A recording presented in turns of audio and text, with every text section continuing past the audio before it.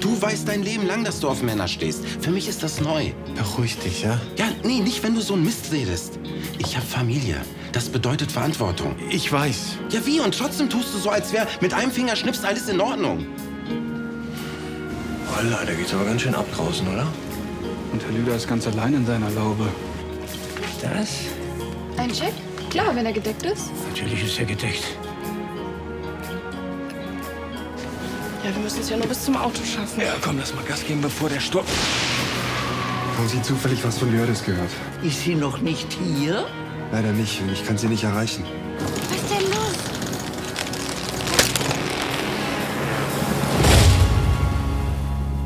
The morning painted by the sun, and it's in my eyes, and it's in my eyes. Caught by the rapture of the dawn, and a restless sky, and a restless sky. This is my life.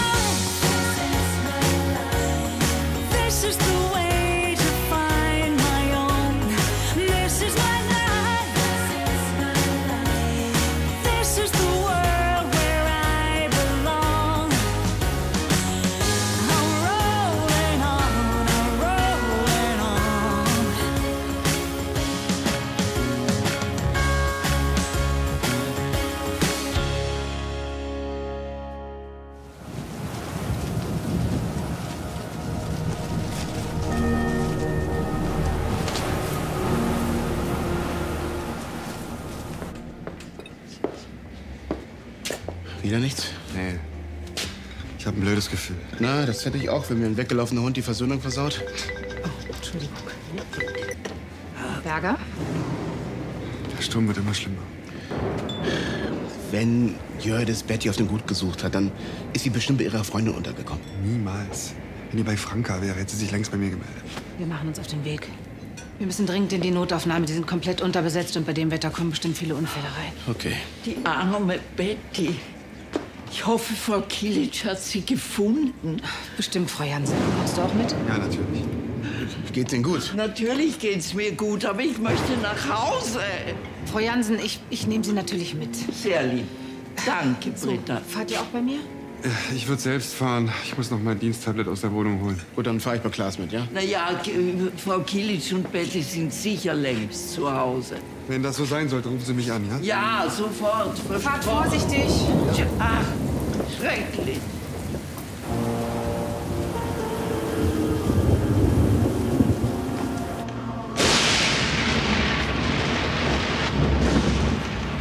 Siehst du was? Also Rauch. Ich, ich glaube, das Vereinsheim brennt. Ja, Dahlmann, hallo. Äh, Am Kleingartenkolonie, da, da, da ist der Blitz eingeschlagen. Entschuldigung, Kleingartenkolonie Goldene Scholle. Ja, g genau, vorne das Vereinsheim am Parkplatz. Ich glaube, da... D wie, meinen Sie? Menschen?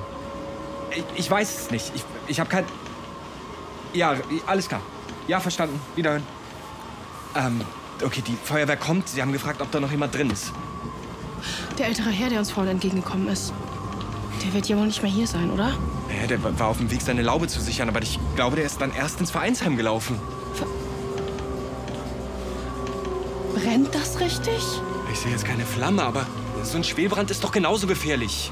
Hoffentlich ist die Feuerwehr bald da. Ja, die haben doch im Moment genug zu tun. Ja. Simon, nee, ey, was hast du vor? Na, ich werde jetzt darüber gehen und gucken, ob da jemand Hilfe braucht. Bist du verrückt? Simon, Na, lass, soll ich jetzt dabei zugucken, wie da drüben jemand verbrennt oder was? bleib hier, da jetzt Simon. rein. Simon!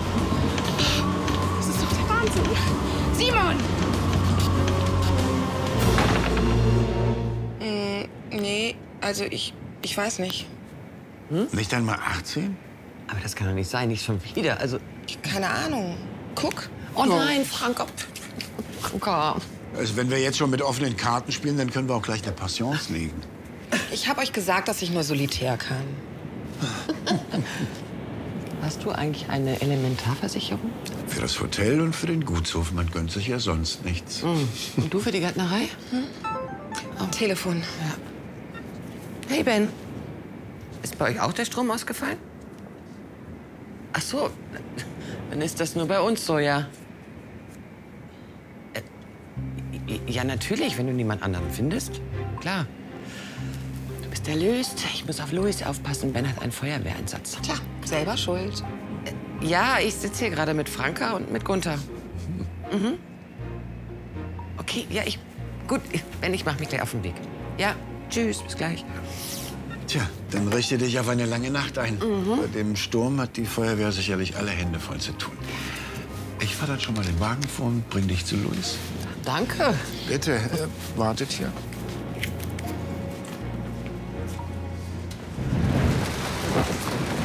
Euch beiden so zu danken. Ich habe die ganze Zeit nicht an Amit gedacht. Ich hoffe, ich ist ja gut in seinem neuen Stall angekommen. Hm? Ich hätte so gern auf Luis aufgepasst, wenn sein Vater nicht so ein, so ein Idiot wäre. Naja, ist das nicht jeder nach einer Trennung? Ja, aber deswegen lasse ich das doch nicht an anderen aus. Wirklich nicht. Respekt? Na gut, ich, ich bin jedenfalls nicht ganz so verletzend wie er. Okay, ähm, du bleibst schön drin heute, ja? Sonst fliegst du noch weg. Das sagt die Richtige. Passt auf euch auf. Ja. Oh.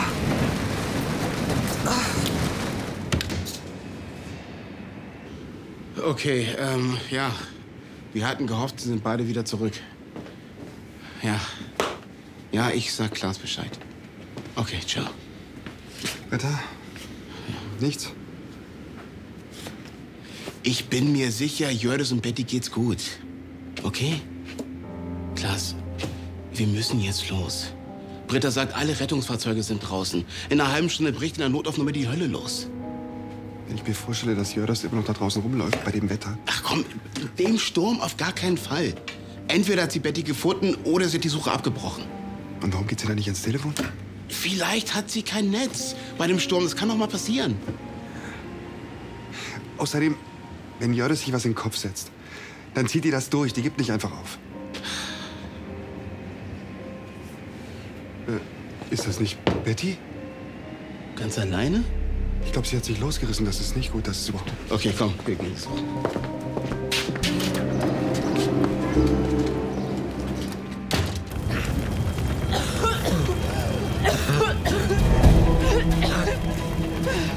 Simon? Schaffst du's? Simon? Simon? Ja, ja, Lotte, ich komm. Geh, geh, geh. Okay. Komm, mach Platz. Komm weiter. Okay. Okay. Okay, ich glaube, er lebt. Ich, Okay. ich muss noch mal rein. Nein. Doch, Lotte, ich, wir wissen nicht, ob da noch jemand rein? drin ist. Ich muss Nein, Simon, nein! Oh Gott sei Dank. Ist jemand verletzt? Ich, ich glaube, er lebt, aber Nur bewusstlos. Er hat noch Puls. Wir, wir wissen nicht genau, ob noch jemand im Haus ist. Und Sie fahren mitten in die Klinik. Mit einer Rauchvergiftung ist nicht zu spaßen. Was mit Ihnen? Mir, mir geht's gut. Was kann ich tun? Wie kann ich helfen? Ab hier übernehmen wir. Stefan? Hier. Wir müssen da noch mal rein. Alles klar. Und die anderen Jungs sollen die Lauben checken. Es kann sein, dass da noch Personen drin sind. Okay, Personensuche und Brandbekämpfung. Ja. Angriffstrupp zur Brandbekämpfung. Mit Staupaket zum Four.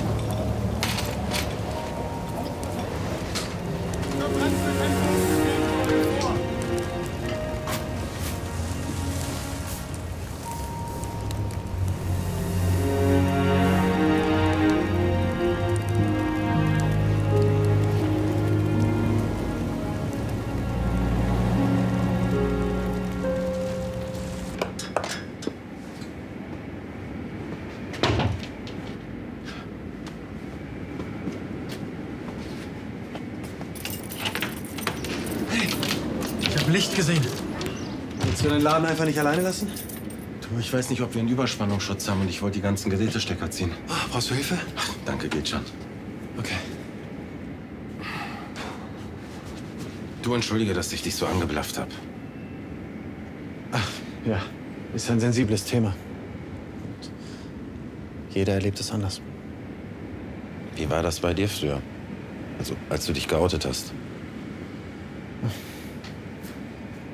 Naja, ich wusste schon immer, dass ich mich zu Männern hingezogen fühle. Und Trotzdem war es verwirrend und ich war verunsichert, anders zu sein. Meine Mutter hat viel gearbeitet, um uns durchzubringen und hat nichts gemerkt. Bei Franka natürlich. Sie hat mir passende Kinderbücher vorgelesen. Also zwei Papas für Paul und Robert und sein rosarotes Rennrad. Einfach nur mir zu zeigen, egal wie ich bin, das ist in Ordnung. Und in der Schule war ich der Womanizer, weil alle Mädchen in meiner Nähe sein wollten. Aber natürlich nur, weil ich harmlos war. Und mit 14 habe ich mich dann geoutet. Wie haben die anderen reagiert?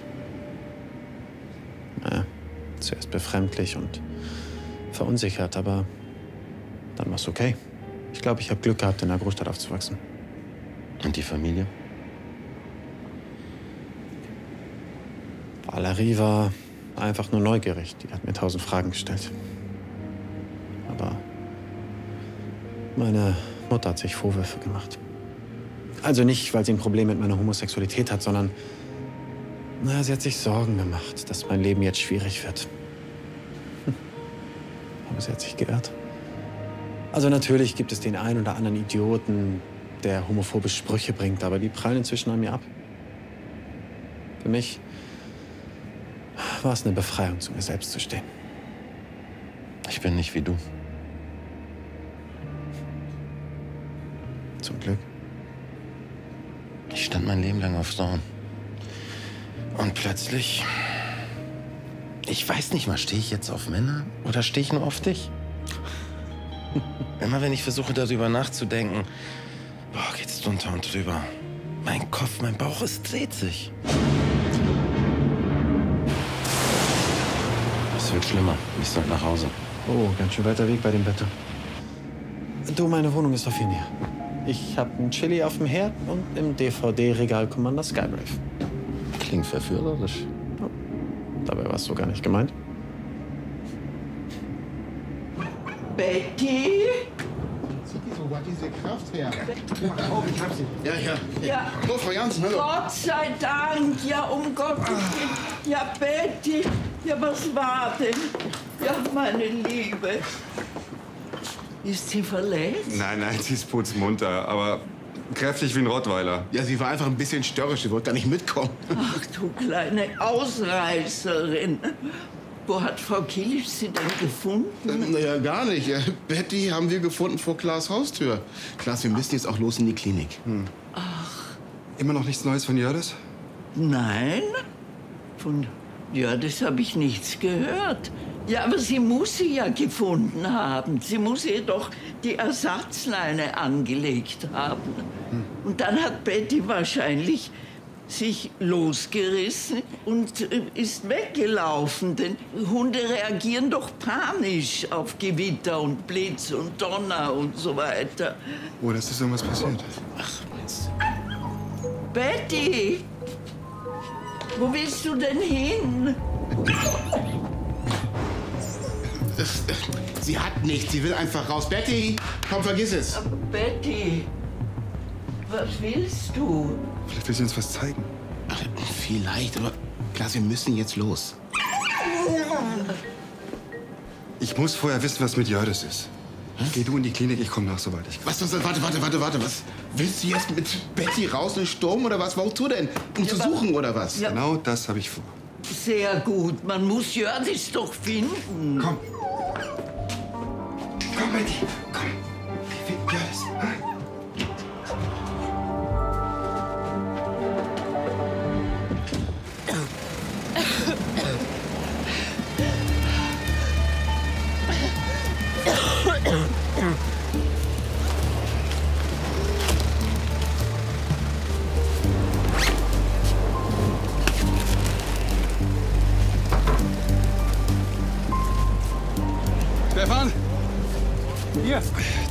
Schwelbrand im Vereinsheim haben wir im Griff.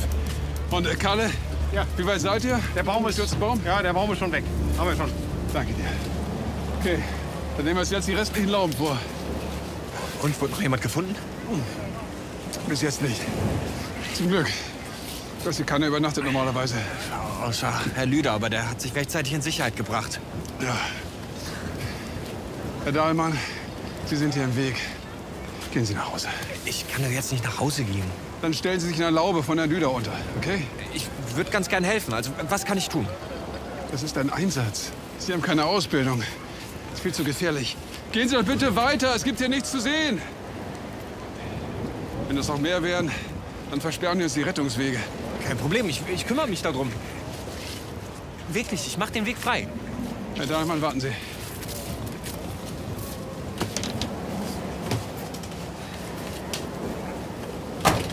Nehmen Sie die.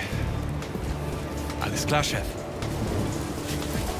So, könnten Sie bitte ein kleines Stück zur Seite gehen? Hier gibt es wirklich nichts zu sehen. Einfach da weiter runtergehen oder hier vorne. Und bitte nicht filmen. Gehen Sie bitte einfach ein Stück weiter. Jetzt. Oh Gott. So ein Dreckswetter. Das war voll abgefahren. Spaziergang war eine dumme Idee. Was mich auch immer wieder von dir überreden lasse. Hast du den fliegenden Aufsteller gesehen? Ja, der hätte dich auch erschlagen können. Oh, Elias, no risk, no fun. Ich dachte, das Thema wären wir durch nach deinem bescheuerten Sprung von der Aussichtsplattform. Das war aus Frust, okay? Weil ich keinen Leistungssport mehr machen kann. Aber jetzt weiß ich, was für Vorteile ich davon habe. Dank meiner Familie. Ich will was erleben. Seit wann bist du so langweilig? Sonst warst du doch immer der mit den durchgeknallten Ideen. Die meisten davon waren ziemlich bescheuert. Ja, aber lustig. Fandest du es lustig, als ich das Geld unserer Eltern verzockt habe? Nein, das natürlich nicht. Ich kam mir in dem Moment so clever vor. Ich habe einfach die Vernunft ausgeschaltet und gemacht. Alle anderen waren mir egal. Auch Mama und Baba. Ich habe nur die Kohle gesehen. Das glaube ich dir nicht. Ich habe nur daran gedacht, das Geld für Celestes Ring zusammenzukriegen. Zum Glück hat sich die Sache mit Celeste und dir erledigt. Und das Risiko habe ich komplett ausgeblendet. Es war einfach nur dumm und egoistisch. Wie die meisten Aktionen von mir. Also ich habe keine Kohle, die ich verspielen könnte. Also, Mann, Leila, darum geht es doch gar nicht.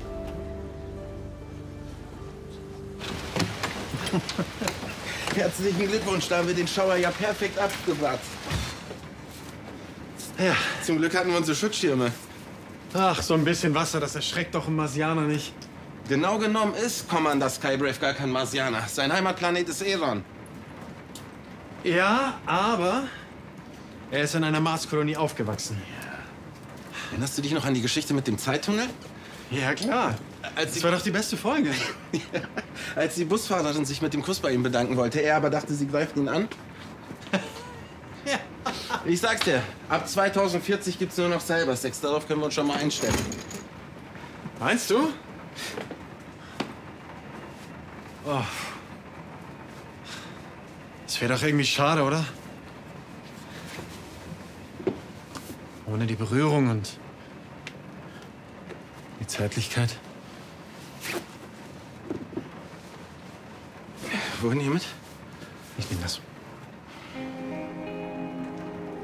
Du siehst ihm übrigens ähnlich. Commander Skybrave? Ja. Auf. Ach, die.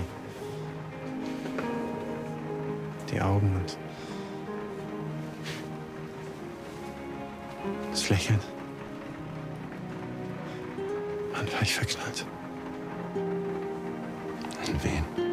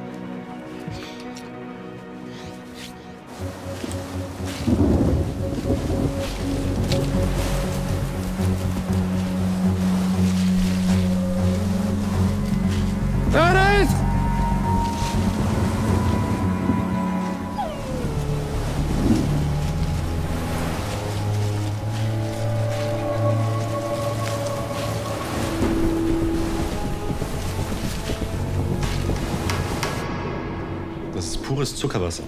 Das weißt du, oder? Ich darf jetzt essen und trinken, was ich will. Alter, was für ein Wetter. Ah, wild und wütend. Passt für mich. Jetzt dreh mal nicht wieder so auf, Leila. Ich drehe nicht auf. Ich bin so. Okay, akzeptier's. Sie können natürlich alles, was Sie hier bestellen, direkt auf Ihre Keycard schreiben lassen. Ja, also ich weiß gar nicht, ob ich das überhaupt brauche. Oh hey, wieder in der Stadt? Nur kurz. Kleine Familiensache. Kennen Sie sich eigentlich schon? Hannes Lieder, sehr erfreut. Elias Kilic. Und das ist meine kleine Schwester Leila. Oh, Hallo. Verletzung? Ja. Dass du wieder auf dem Kleinen rumreiten musst, ist ja echt arm. Ja, vielleicht braucht Ihr Bruder das. Nee. Äh, wollen Sie sich zu uns setzen? Ja. Ähm, ich muss leider arbeiten. Äh, wohnen Sie hier im Hotel? Ah, Brain Freeze. In die Stirne atmen. Was? Mit der Kraft des Geistes können Sie jeden Schmerz besiegen. Aber nicht den hier. Oh. Übung macht den Meister. Hm? Zeigen. Oh, ja, eine Eis-Challenge. Äh, wir brauchen mehr Eiswürfel, bitte.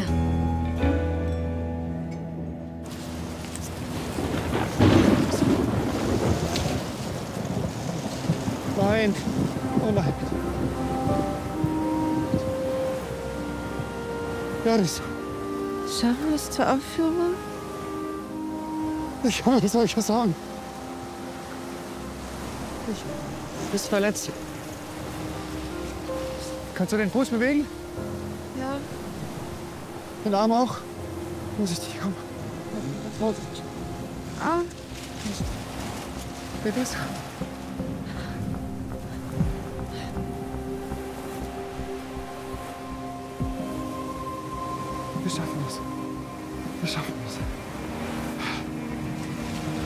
Bin ich mir sicher. Komm, Betty! Los!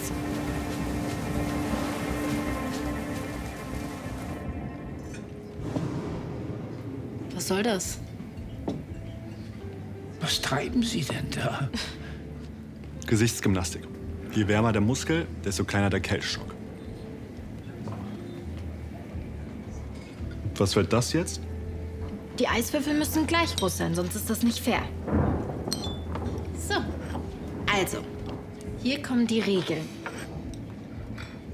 Eiswürfel aufnehmen, Kontakt zwischen Gaumen und Zunge herstellen, halten und dann auf mein Kommando zerbeißen. Und das Ganze ohne eine Miene zu verziehen. Verstanden? Schon mal gemacht? In Bhutan im Schnee meditiert, nackt. So, möge der Coolere gewinnen. Eiswürfel aufnehmen.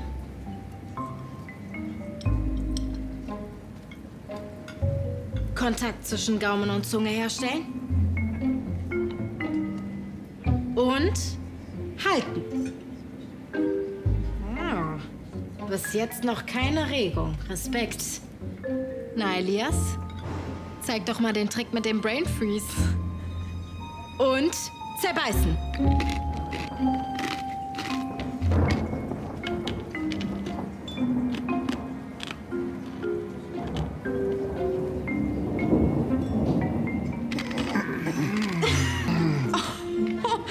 Loser, beide.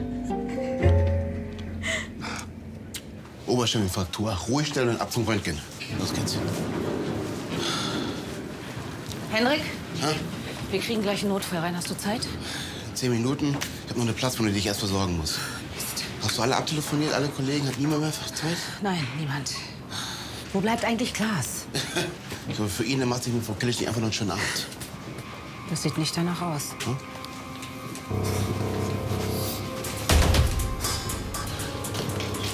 Brauche eine Katecholamin-Infusion und Wärmepacks.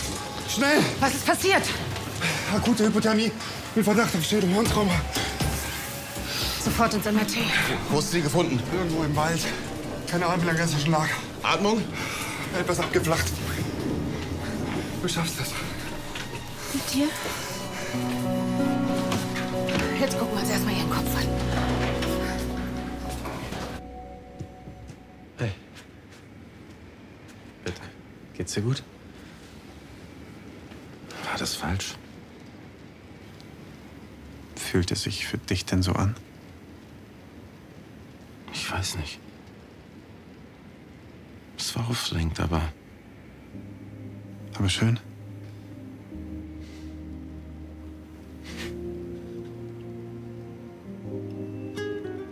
So, und jetzt, wie wär's mit Chili und ähm, Commander Skybrave? ich glaube, ich soll nach Hause gehen.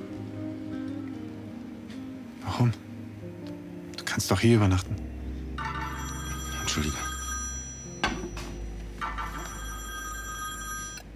Hallo?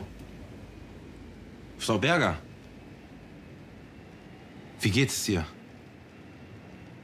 Ja, ich komme sofort. Alles klar, bis gleich. Ich muss ins Krankenhaus. Jördes hatte einen Unfall. Ist, ist es schlimm? Gehirnerschütterung und Unterkühlung.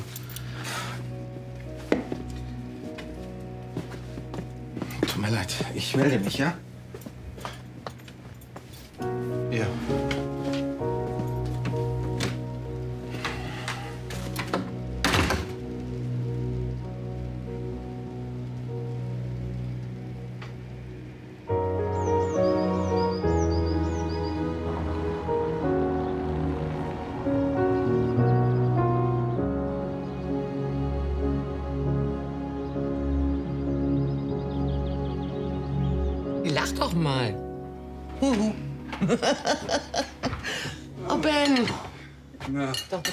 Mehr nach Hause. äh, ja, hätte auch passieren können. Auf der Rückfahrt wäre ich fast eingeschlafen. Gott. Eine kleine Maus. Weißt du, wie gefährlich das ist, sich müde an Steuer zu setzen? Deshalb bin ich auch nicht selber gefahren, sondern habe mich von einem Kollegen hier absetzen lassen. Ja. Ja, der Sturm hat echt heftige Schäden angerichtet. Aber hier bei euch alles gut? Hier war alles bestens, oder? Und ich kann endlich Skat spielen. Ah, okay. Und, oh, Dankeschön. Luis auch oder wer war euer dritter Mann? Das ist ja lustig. Hm. Ich muss los. Mhm. Ich muss Cleo abholen. Ja, bis später, kleine Maus. Danke, dass du eingesprungen bist. Natürlich. Kann ich dich allein lassen oder möchtest du lieber schlafen und ich mach Luis ein Mhm. Ganz nett von dir. Ich mach das schon. Ja, dann muss ich einkaufen, Luis in die Kita bringen und Dann gehst du aber hoffentlich schlafen, oder? wenn ich den Kundentermin in der Werkstatt verschieben kann. Ben, es ist alles gerade ganz schön anstrengend. Also, setz dich, ich mach das. Es nützt ja nichts. Sitzen gelassen und alleinerziehen, das ist jetzt mein Alltag. Weißt du was? Ja? Kopf hoch. Das wird sich auch alles einspielen. Tja.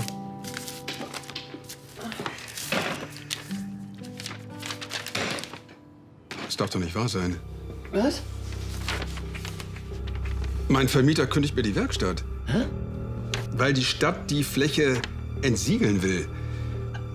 Können die das so einfach? Ich, äh, ja, das hört sich so an. Sag mal, Entsiegeln, ist das nicht das Spezialgebiet von Franka? Was mache ich denn jetzt? Du bleibst ja jetzt sitzen, trinkst deinen Kaffee und ich kümmere mich jetzt um Luis.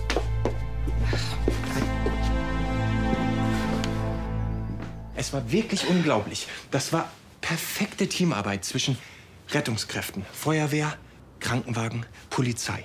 Alle Hand in Hand. Da war kein Wort zu viel. Das lief so ineinander. Das war die perfekte Teamarbeit. Unglaublich. Apropos kein Wort zu viel. Ich mach mal Kaffee. Willst du auch? Ja, gerne. Aber ich äh, würde allerdings kurz fünf Minuten einmal die Augen zumachen. Ja, ich brauche einmal. Oh Gott, einmal kurz Ruhe.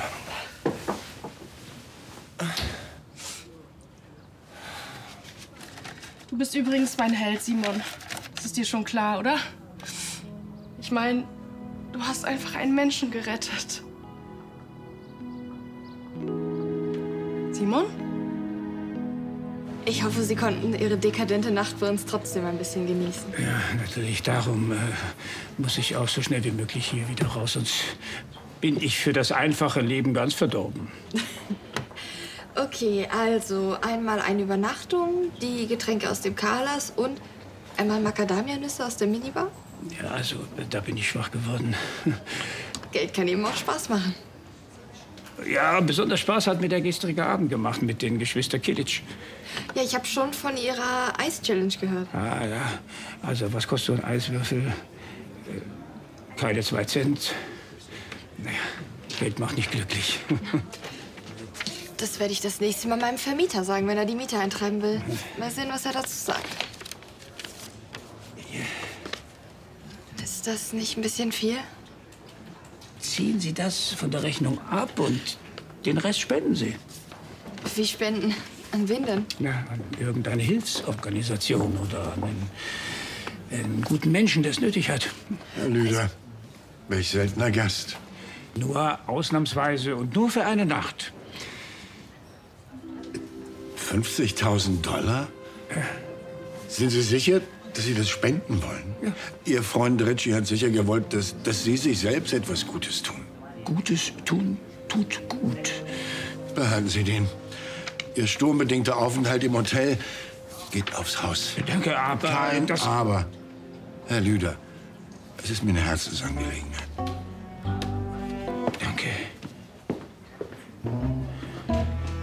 50.000 Dollar Scheck loszuwerden, ist gar nicht so einfach. Ihre Probleme hätte ich gerne.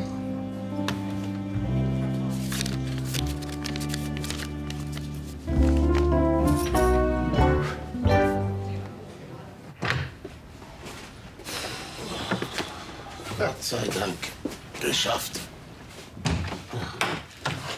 Ich glaube, ich bin in den letzten fünf Stunden um fünf Jahre gealtert. Mein Schatz, bist wunderschön. Danke für die Blumen. Also der eigentliche Star der Nacht war Betty, oder? Äh, Betty sollte vielleicht eine Ausbildung zum Rettungshund machen. Frau Killitsch hatte wirklich einen Schutzengel. Ja, ich weiß nicht, ob ich Klaas so nennen würde, aber okay. Die beiden verstehen sich gut, oder? Inzwischen, glaube ich, auch privat. Mhm. Was? Komm mal her.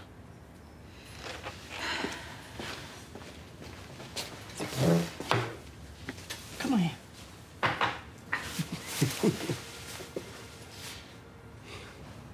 Ich habe dich heute beobachtet. Wobei? Britta, du bist eine unglaubliche Frau. Wie du das hier alles schaffst in der Klinik und bei uns zu Hause mit der Familie. Bist für alle deine Freunde eine Stütze. Woher kommt denn das auf einmal? Mir ist heute wieder klar geworden, was für ein Glück ich mit dir habe. Und dass es nicht selbstverständlich ist. Britta Berger, Sie sind meine absolute Traumfrau. Ich liebe dich. Ich liebe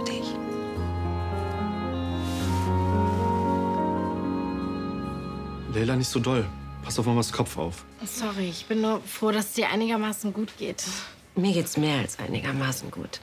Und gleich nach der Visite mache ich einen Spaziergang im Park. Ich muss hier mal raus. Kann ich verstehen.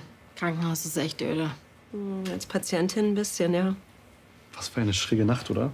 Mama erfriert fast im Wald und wir machen eine Eis-Challenge. Ganz schön makaber. Eis-Challenge? Ja, ich zeig dir später das Video. Naja, der Elias war ganz schön uncool. Der Schamane aber auch. Was, Schamane?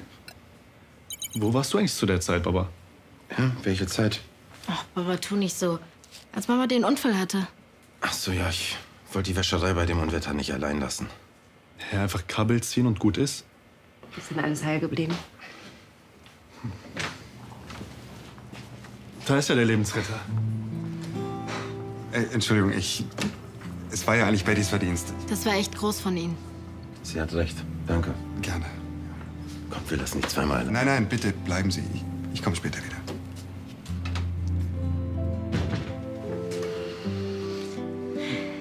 Schön, dass es dir gut geht.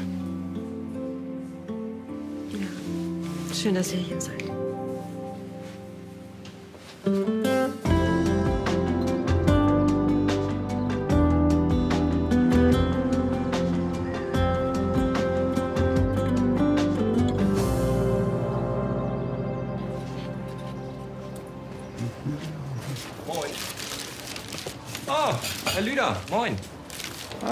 Hallo, Herr Dallmann. Ja, da ist ja der Held der goldenen Scholle. Ja, Sie haben sicherlich auch schon vom Blitzeinschlag gehört. Ja, und dass Sie dem Herrn Osterberg das Leben gerettet haben. Ach. Doch, hat sich mittlerweile rumgesprochen. Und äh, dass sich alle jetzt bei Ihnen und Ihrer Schwester mit einer Einladung zum Essen bedanken wollen. Ja, das ist sehr nett, aber ich glaube, der größte Dank, der war schon die vergangene Nacht.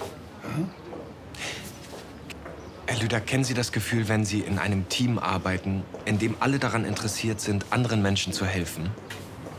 Oder anders. Ich glaube, ich habe mich sehr, sehr lange nicht mehr so sinnvoll gefühlt wie gestern Nacht. Ja, das muss ja nicht bei dem einen Mal bleiben. hm? Das wird es auch nicht. Hoffentlich.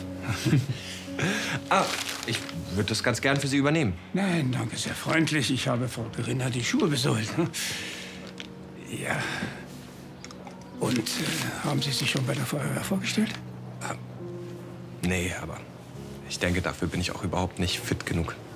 Sicher? Also nicht jeder Held muss ein Adonis sein. Wichtig ist die richtige innere Einstellung. Schönen Tag noch. Ja, Ihnen auch. Nur weil ein paar Bänke über den Platz geflogen sind, können wir jetzt eine Woche lang nicht mehr trainieren. Beschwer dich bei deinem Vater. Ich habe gerade ganz andere Probleme. Ah, perfekt. Zu Ihnen wollte ich gerade. Mit besten Dank zurück. Du bist bei der Freiwilligen Feuerwehr? Nicht ganz, aber ich durfte freundlicherweise gestern mithelfen. Hey, ähm, hol dir schon mal deinen Pausensnack. Dann fahre ich zur Schule, okay? Das haben Sie übrigens gut gemacht. Ja, völlig angstfrei und selbst unter Stress noch klar und strukturiert. Gut. Ja, sowas brauchen wir. Hm? Wie wär's? Interesse? Ach so, nee, ich glaube, das funktioniert leider nicht. Ah, ja, das kann ich verstehen. Ist ja doch ein ziemlich zeitaufwendiges Ehrenamt. Und Sie sind da gerade dabei, sich beruflich neu zu orientieren, oder? Hm, Ja, wobei, was das angeht, bin ich eher orientierungslos. Und die Zeit ist jetzt auch nicht das Problem. Es ist. Ja? Ich hab MS. Aber das scheint Sie ja nicht groß zu beeinträchtigen. Ähm, nee, das kommt eher schubweise. Hm. Und so ein Schub, der, der kündigt sich an oder fallen Sie dann spontan aus? Nee, ich habe schon sowas wie eine Vorlaufzeit. Ah, okay. Ja, dann setzen Sie mal einen Einsatz aus. Wo ist das Problem? Ach so, das wäre theoretisch wirklich möglich, das. Na klar. Ja, und die hier bekomme ich übrigens sauber zurück. Bei der Feuerwehr herrscht Ordnung, Kamerad. Okay, dann mal Abfahrt. Ach so, und Aufnahmeanträge gibt's online. Tschüss. Ciao.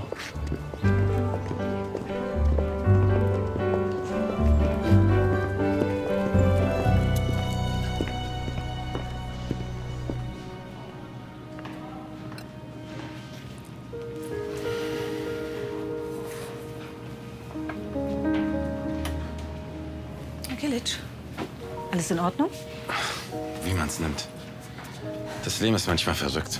Ja, allerdings. Und wenn man dann merkt, wie schnell alles vorbei sein kann, dann besinnt man sich erst wieder auf das, was einem eigentlich wichtig ist. Familie. Ja, stimmt. Und meine Familie ist inzwischen wirklich groß. Mit meinem Ex-Mann und Hendricks Ex-Frau, das ja, gehört für mich alles dazu. Tatsächlich? Mhm. Ja, Freunde gehören für mich auch zur Familie. Für mich nicht. Familie ist Familie.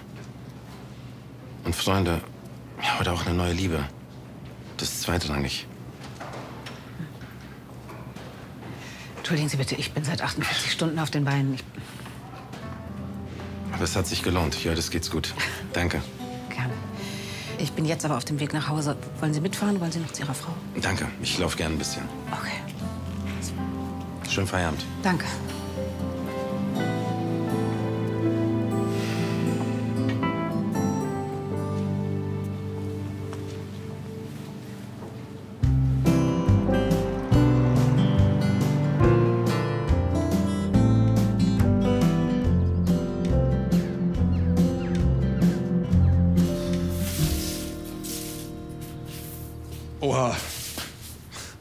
Der Sturm zugeschlagen? Hä? Kann ich. Kann ich irgendwie helfen? Das ist eigentlich mein Text. Rosen, Nelken, Narzissen. Oh, Lavendel kann ich empfehlen. Wirkt beruhigend. Ah, ähm, mein Vermieter hat mir die Werkstatt gekündigt. Ja, das, das Bauamt will die gesamte Fläche entsiegeln und Carla meint, dass Sie da Spezialistin sind. Ja, ich plane und konzipiere Entsiegelungsflächen, das stimmt. Ah, okay. Dann wissen Sie, also dann kennen Sie die Behörden und wissen, wie man das hier stoppen kann. Was? Naja, das, das alles. Ich muss meine Werkstatt behalten. Ja, das ist meine Existenz. Das Genehmigungsverfahren ist leider abgeschlossen. Also es geht jetzt nur noch darum, welche Landschaftsarchitektin oder welcher Landschaftsarchitekt das Projekt ausführt und dann geht's los. Aber die können mich doch nicht vor, vor vollendete Tatsachen stellen. Die Einspruchsfrist ist vor zwei Wochen abgelaufen. Aber eigentlich sollten die Betroffenen ausreichend vorher informiert worden sein. Also Ja, der Brief ist doch gerade mal, der ist doch von, von vor vier Wochen. ja, das kommt hin. Oh Mann, der Stress mit Tina und die Kids, das, das ist mir durchgerutscht. Ich, ich hatte ja keine Ahnung, sonst hätte ich Ihnen Bescheid gesagt. Ja, ich habe mich auf das Projekt beworben und ich wusste, dass es um Ihre Werkstatt geht. Und Sie haben mich nicht gewarnt. Ich, ich bin davon ausgegangen, dass Sie Ihre Post öffnen.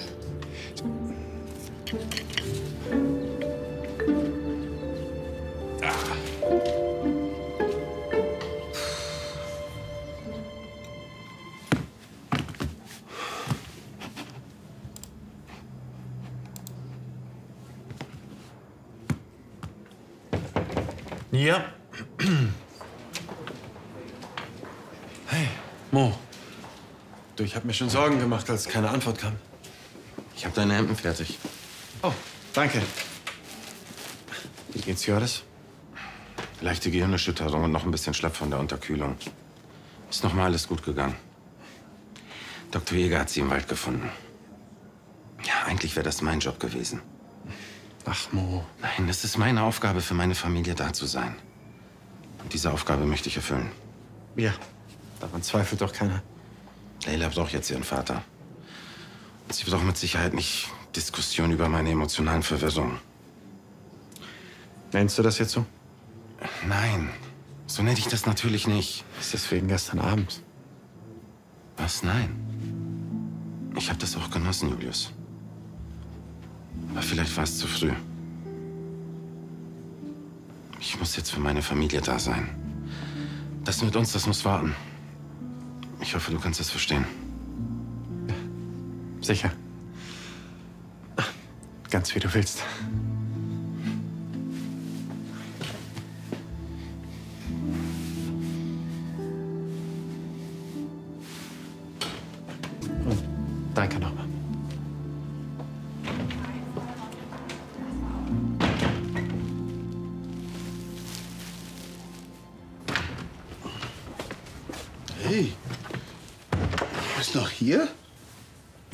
Zwei Stunden früher angefangen.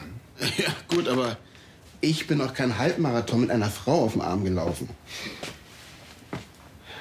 Hast du sie wirklich die ganze Strecke getragen? Ich hätte sie ja noch viel weiter getragen, um mir zu helfen. Sie da so liegen zu sehen, das war schon heftig. Luise? Auch. Und äh, jetzt, wie geht's mit euch beiden weiter? Musst du Jördis fragen. Tempo und Richtung bestimmt sie. Warum? Weil es kompliziert ist. Alles. Die Familie, ihr Mann. Ähm, gibt's denn eine Chance, dass die beiden wieder zusammenkommen? Nein, glaube ich nicht. Gut, aber dann ist auch nicht kompliziert. Du liebst sie, sie liebt dich. Und wenn wir heute eins gelernt haben, dann. Hm? Ist angekommen.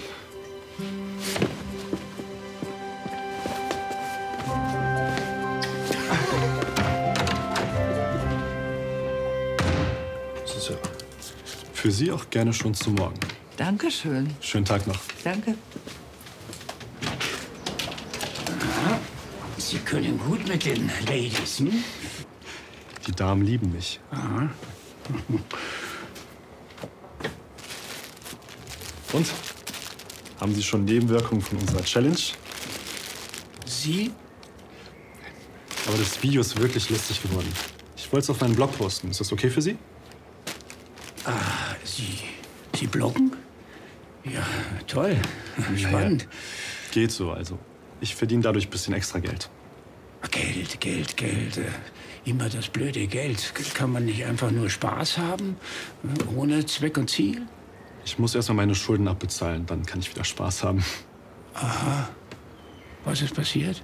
Woran liegt's? Ich habe mit den Rücklagen meiner Eltern spekuliert. Und das ist daneben gegangen. Es war nur leichtsinnig und egoistisch. Ich meine, stellen Sie sich das mal vor. Meine Eltern mussten extra Nebenjobs annehmen, um klarzukommen. Nur weil ich meiner versnobten Freundin mit einer schnellen Extra-Rendite einen Gefallen tun wollte.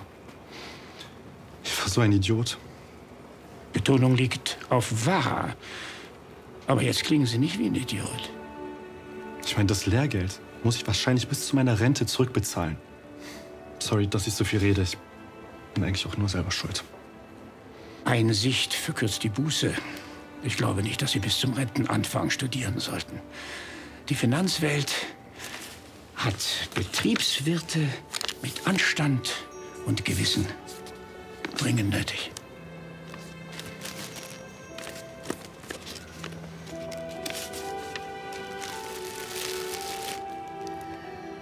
Fünfzigtausend Dollar?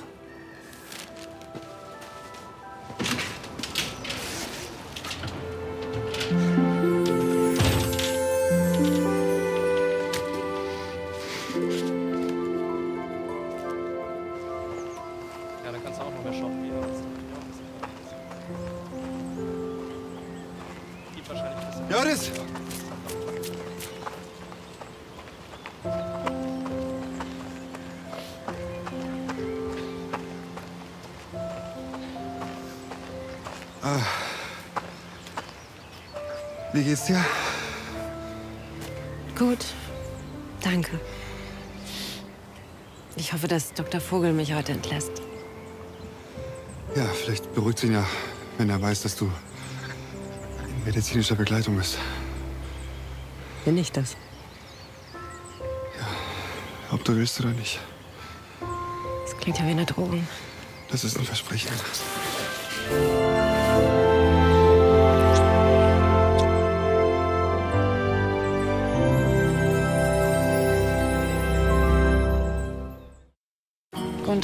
Freue mich so auf dieses Projekt. Mein eigenes kleines Business. Hm? Es ist nicht dein erstes, du hattest bereits ein Restaurant. Mhm, hatte. Das mit Glas und mir, das fühlt sich richtig an. Das freut mich. Und bei dir? Klar, nicht so einfach. Ich bin da, wenn du reden willst. Ne?